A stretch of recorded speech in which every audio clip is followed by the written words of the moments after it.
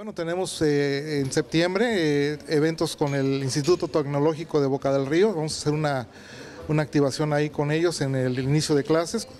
Eh, tenemos también el día 28, que es la carrera, y tenemos también proyectado un, una competencia de kayak y de paddle para cerrar esto. Y también, bueno, participamos, si es que este año no cambia, eh, con la carrera del XCU también en lo logístico.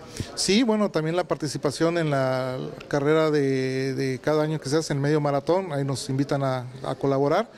Y estamos proyectando también eh, un torneo, un campeonato de futbolito de mesa.